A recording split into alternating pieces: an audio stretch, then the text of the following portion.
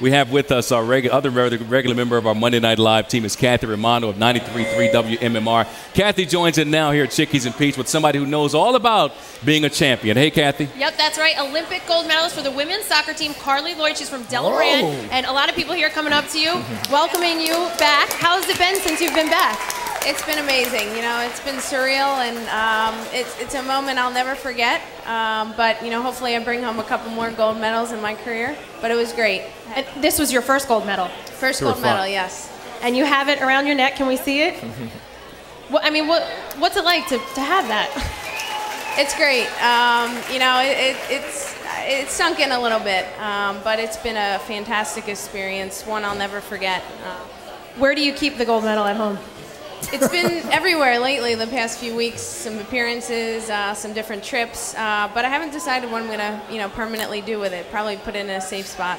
I'm Kathy Romano in for John this afternoon, and in Chester County we have some construction starting on Route 100. It's in West Goshen and West Whiteland Township between 202 and Route 30. This is live picture just past Pottstown Pike. On the southbound side, they've already set up here. You can see the right lane is blocked. They'll be reconstructing the shoulder tomorrow. They'll move to the northbound side and do the same there. Now your alternates, if you're on 202, stay on 202 southbound. Uh, take that to westbound Route 30. If you're on the northbound side, use Route 30 or Pottstown Pike. Live in the traffic center, Kathy Romano, NBC 10 News.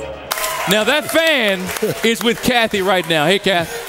Yeah, I am here with Chris, who took that cell phone video. What was your motivation? Why did you take that video?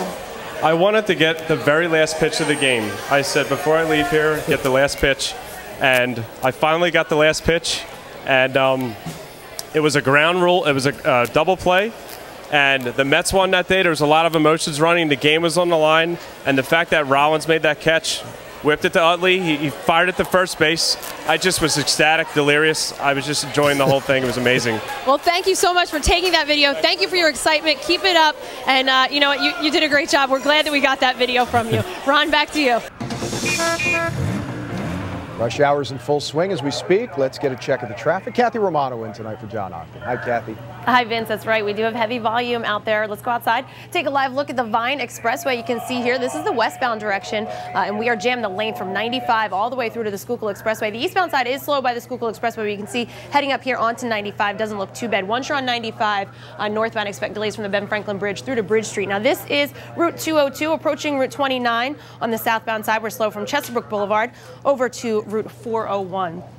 Now let's take a look at our maps here. This is the Schuylkill Expressway. Uh, it seems to be clearing out pretty much for the most part uh, right near Belmont and then through Montgomery to Vine. And also don't forget the construction on uh, the Schuylkill Expressway from Route 202 to Croton Road and then also from the Blue Route to City Avenue. That goes overnight 8 p.m. to 5 a.m. So just keep that in mind. Live in the traffic center, I'm Kathy Romano, NBC 10 News.